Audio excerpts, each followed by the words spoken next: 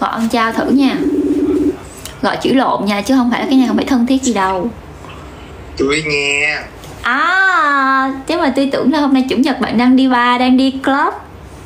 Tôi ờ, mới đi gặp chủ tịch về. Mới đi gặp chủ tịch già hả? Chị hai tôi đâu? Chị hai á, chị hai ở nhà. Nhà ở nhà kỹ vậy? Xong kêu chị hai về nhà tôi. Hỏi tại chị hai cô muốn dậy cho biết. Ủa? Ủa đang lai hả? Mọi người hỏi ông cha quá trời luôn nè. Chị nhà thông chưa? Chùa à, mới sửa mới hả nha? Ngày mới đấy hả? Không nhà cũ. Trời ơi tao ngồi like ở đây bữa giờ rồi còn hỏi nhà mới đó hả? Nhà mới chắc phải Đâu, hai hả? tuần mới xong thấy hôm trước vừa mới ờ, hợp đồng nhà mà thì ờ, tưởng đó là chuyển về dần dần rồi. Không còn phải sửa sang nữa. Mọi người đang gọi ông cha vào livestream. Tôi còn kêu là ông cha đang đi ba rồi. À hôm nay không đi ba lạ dữ vậy? Lão vậy? Đấy mới đây phải cho chủ tịch về nhà tắm rửa thăm chị cô nữa chứ. Hay đừng có nói cái giọng đó đi. Gọng gọng gọng gọng đi. Ủa?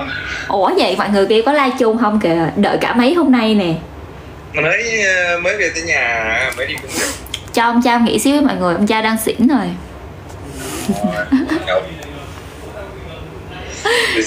Xíu lên. Ờ. Xong rồi ờ, lên. Nhanh lên. Lên cơm bát với tôi. Ủa? Nhanh lên tôi lên tôi tính sổ với ông như lên.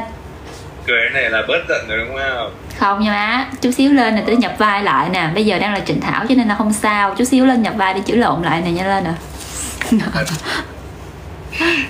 thì tôi đi tắm bút tóc rồi lên nha.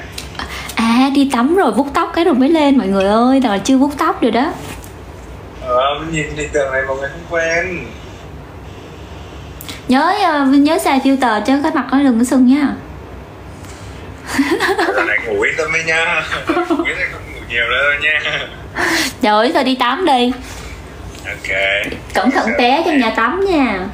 Nữa chù nữa nó cái giọng mẹo hình mẹo dạng thấy ghê quá rồi. Cấp máy đi. Bye. Ok ok. Bye.